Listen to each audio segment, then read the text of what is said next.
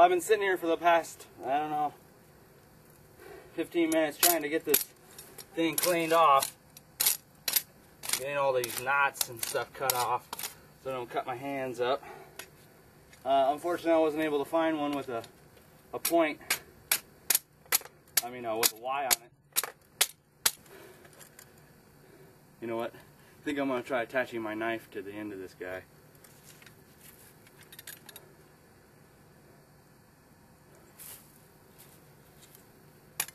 Think I'm going to try. Just so I can get some extra weight on them. We'll see. I'm going to turn the camera off. I think I'm running out of battery. Well, I got my spear ready. This uh, knot on here is called the uh, Bush Boy knot. Uh, I'm not quite sure exactly what it is. I just, uh, I had about 100 feet of rope in my uh, pack and so I just started wrapping it and wrapping it and wrapping it. It's tight on there. Uh, the thing I wanted to tell you is that if you could, if you had a knife or something like that for your protection, having it on a spear is really nice. Like I said before, uh, in Oregon, I think actually most of the entire United States, uh, except for Alaska, you can't spearfish uh, without a certain kind of license, and I don't have that license. So I'm not going to be able to spearfish any of these uh, fish in here.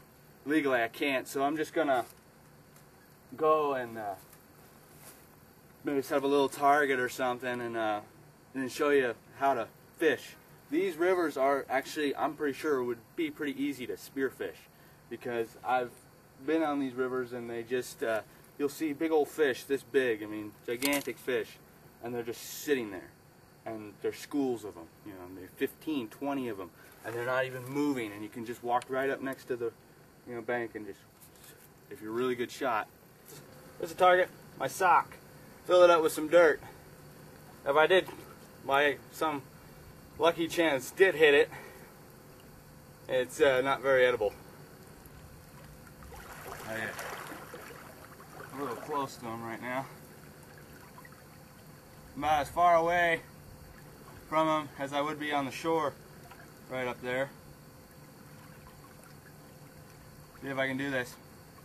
The trick to spearfishing in the water, a lot of people would think it'd be as, just as easy as spearfishing on fish, stabbing something on ground. Well, the thing is, is the water is tricky. It, the reflection of the water, uh, what you see, if you saw a fish there where that sock would be, it's actually not there because the water reflection is changing where it is. So if I aimed right at that sock, I would miss it because it's not there.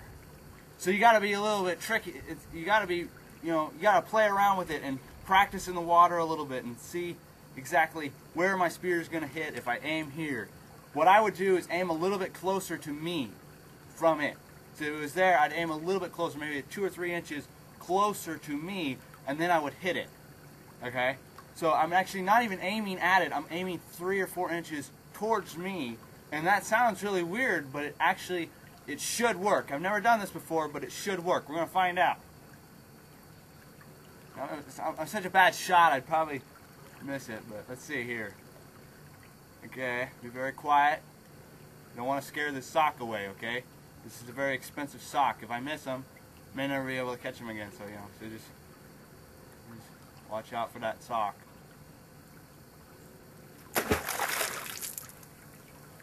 Well, my spear worked pretty good, but... Oh, wow, I caught a minnow! Oh. Not that lucky. Okay, I missed. First try.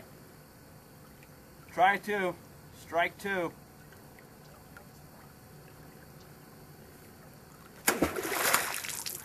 Did I get it? Oh, no, missed. Okay. Here's the deal. I think what I have to do is aim. Yeah, I, I'm not really doing this right. I need to aim a little bit more towards me to uh, get rid of this reflection. Like I said, practice with it. Before you go out and fishing, I mean, I know you probably won't have a lot of time. You want to get that fish right away, but practice with it. Try this again.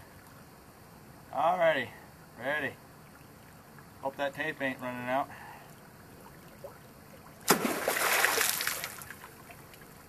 Ah! Ah! Ah! Let's try it again. Ha! Yeah! Right on! Oh, wow! Oh, look at that!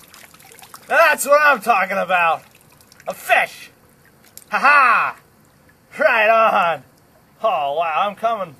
Going places, baby. I'm going places. Oh, yeah. Oh, the camera got that. Oh, wow. Okay, we're having having sock tonight.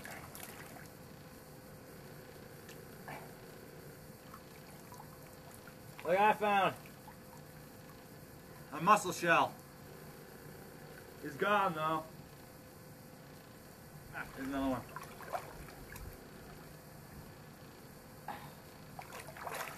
Maybe these are just dead ones. There's another one. I found something over here when I was talking to you. Uh, it's a dog rose. I'll, I'll, it's a whole bush there. I didn't even see it. And that's the thing is, it's really hard if you're not if you don't know what you're looking for.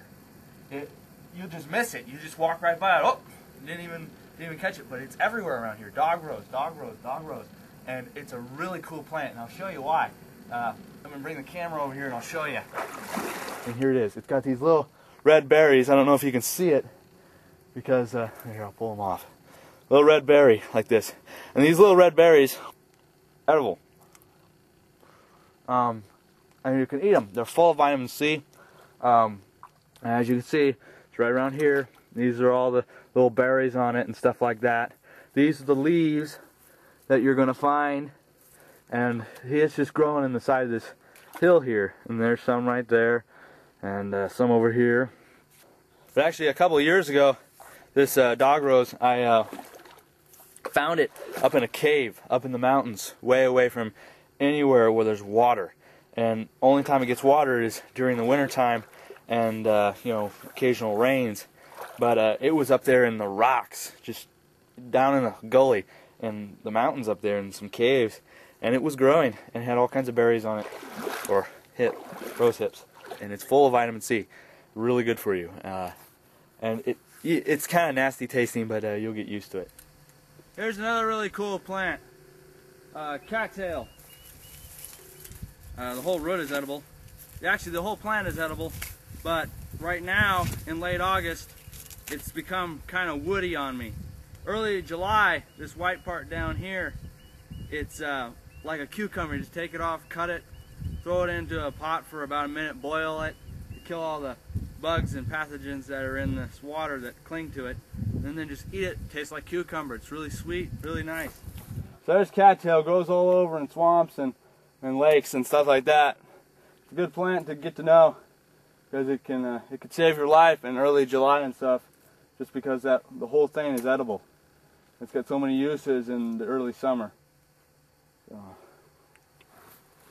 It's always hard for me to think of a good beginning and a good ending for these shows, so this time for the ending, I'm just going to say, see you later.